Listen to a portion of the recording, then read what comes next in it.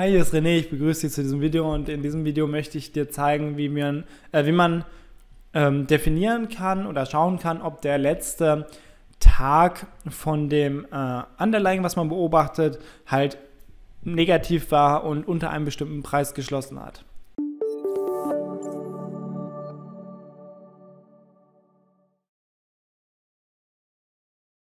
Das Ganze machen wir natürlich, um unsere Aktientrader-Strategie hier weiterzubringen.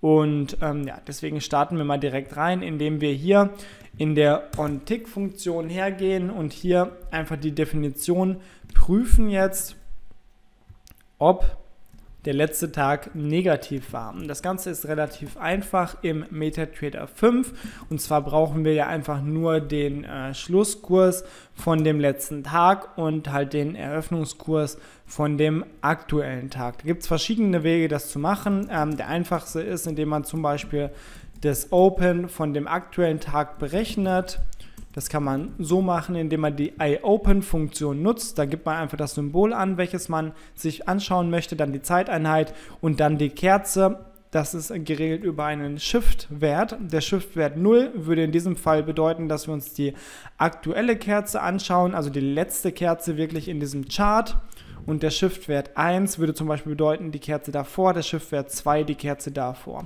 Und so geht das immer weiter. Den Shift-Wert 1, den brauchen wir jetzt auch, weil wir den Schlusskurs von dem Vortag erhalten wollen. Deswegen gehen wir hier natürlich über die iClose-Funktion.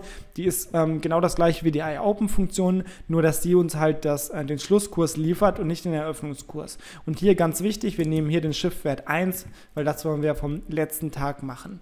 Ähm, was wir jetzt noch machen können, ist, wir prüfen, ob es eine neue Kerze gegeben hat. Und das Ganze, ähm, da gibt es verschiedene Wege, das zu machen. Ähm, zum Beispiel können wir sagen, wir ähm, notieren uns hier oben einfach mal die Kerzen, die es gerade so gibt in dem Chart.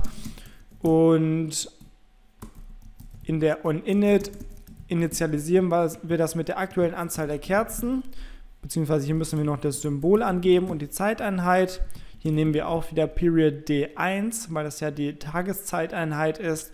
Und jetzt prüfen wir einfach immer hier in der On-Tick-Funktion, die ja bei jedem einzelnen Tick, also bei jeder Preisveränderung ausgeführt wird, ob die Bars ungleich ähm, dieser aktuellen Bars hier in unserem Symbol sind. Falls das der Fall ist, dann updaten wir den Wert in dieser Bars-Variable mit dem neuen Wert der Anzahl der Kerzen und wissen dann, dass eine neue Kerze hier halt stattgefunden hat bzw. erzeugt wurde. Wir können jetzt hier zum Beispiel hergehen und einfach mal eine Textausgabe machen, zum Beispiel neue Kerze und dann geben wir hier das Open aus, das Open an der Stelle 0. Das können wir so machen, Double to String, Open, wir runden das Ganze auf die Anzahl der Nachkommastellen und geben hier dann das Close noch aus von dem Vortag. Auch das runden wir einfach auf die Anzahl der Nachkommastellen. So, wenn wir das gemacht haben, dann können wir das Ganze kompilieren und ich werde das Programm jetzt nochmal starten hier im Tester.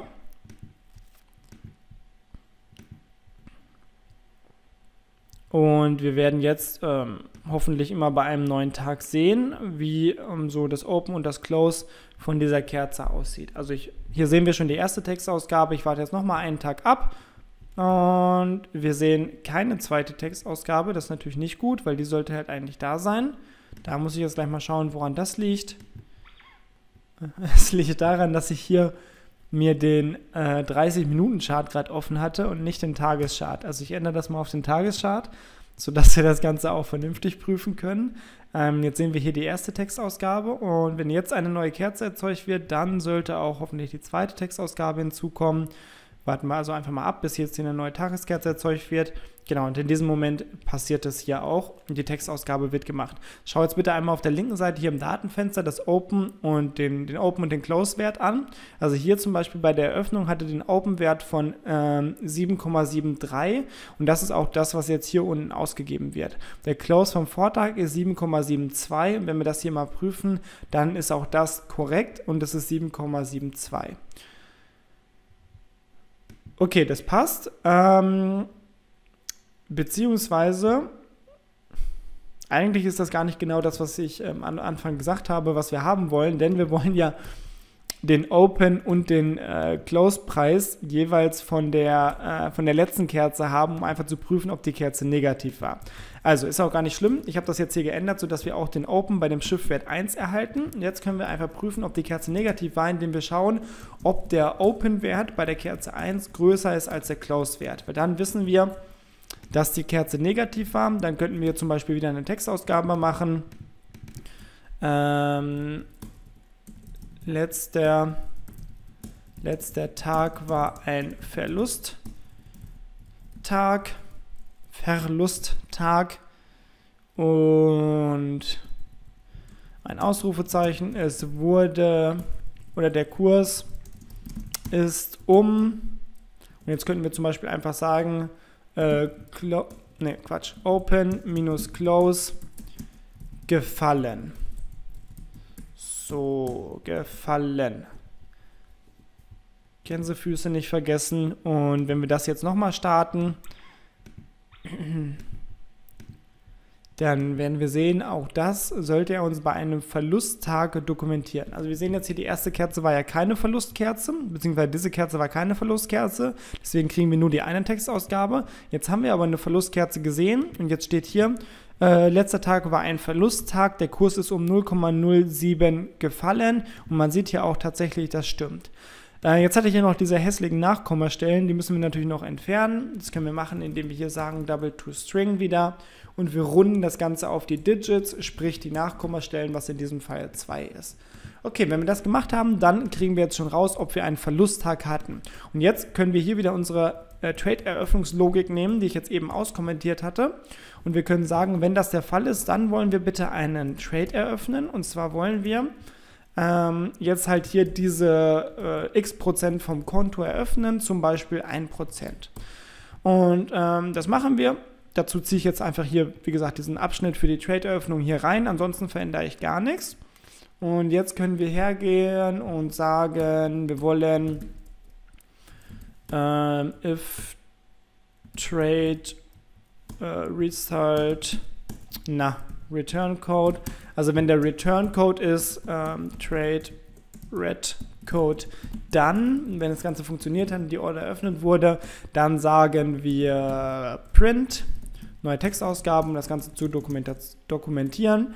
Ähm, es wurde ein Trade oder es wurden äh, Volumen, Aktien, dann können wir hier in Klammern vielleicht nur das Symbol schreiben, damit wir wissen, welche Aktie das ist. Gekauft. Zack. Ich kompiliere das Ganze und wir bringen gerade noch hier die Semikolon dahinter und dann funktioniert es auch. Wenn wir das so machen, dann kann ich jetzt wieder hergehen, das Programm starten und jetzt sollte halt wieder eine Sache mehr passieren nach der nächsten Verlustkerze. Wir kaufen und wir dokumentieren, wie viele Trades wir gekauft haben. So kann man das Ganze gut nachverfolgen. Also wir sehen jetzt hier, äh,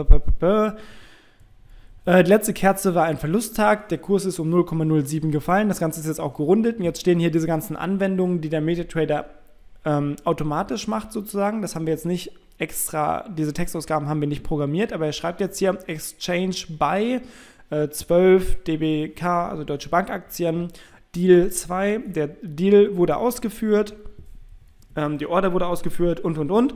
Und wir sehen jetzt hier Exchange by 12 Aktien done. Das ist auch der ähm, Return Code, der uns dann hier dazu bringt, dass wir hier nochmal schreiben, es wurden 12 Aktien, dann in Klammern das Symbol gekauft. Und ähm, genau, jetzt haben wir die 12 Aktien. Wir lassen das Ganze mal weiterlaufen. Wir schauen, was passiert, wenn jetzt der nächste Tag auch ein Verlusttag wird und der ist ein Verlusttag und wir kaufen wieder 12 Aktien. Ähm, das Ganze können wir jetzt natürlich ewig so weiterlaufen lassen. Ähm, hier wird jetzt halt nach jedem Verlusttag gekauft werden gerade. Man sieht das hier sehr schön. Du kannst es, wenn du es nachprogrammiert hast, auch bei dir nochmal testen. Und wir sehen jetzt hier auch beim Handelstab, es werden halt immer mehr Volumen gekauft und Genau, wir sehen auch, das Ganze variiert so ein bisschen. Also wir sehen, ähm, wenn, der, äh, wenn der Kurs, jetzt muss ich kurz nachdenken, dass ich keinen Mist erzähle, wenn der Kurs fällt, dann kann es sein, dass wir auch 13 Aktien kaufen können. Das können wir ja zum Beispiel mal nachrechnen. Wenn wir jetzt hier äh, 7,56 haben mal 3, ah, mal 13, genau, dann, ja, ich rechne es nochmal, 7,56 mal 13, dann können wir hier halt 13 Aktien kaufen und liegen immer noch unter 100 Euro investierten Geld. Und wenn wir jetzt zum Beispiel einen Kurs haben von 10,02, das rechne ich auch nochmal kurz nach, 10,02, dann können wir zum Beispiel nur 9 Aktien handeln, weil wenn wir jetzt noch eine kaufen, dann würden wir über den 100 liegen. Also du siehst hier die Risikoberechnung, so simpel wie sie auch ist, funktioniert ganz wunderbar. Und wir eröffnen immer ähm, quasi 100 Euro in Deutscher Bank Aktien. Und genau, das Ganze ist jetzt noch ein bisschen wüst, weil wir zum Beispiel auch die Ausstiegslogik noch nicht da drin haben.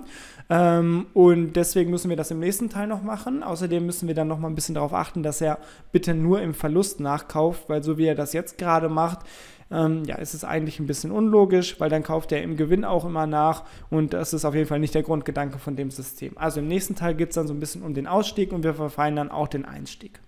Also, ähm, ja, schau auf jeden Fall wieder rein und ich würde mich da sehr freuen. Bis dann, ciao, ciao.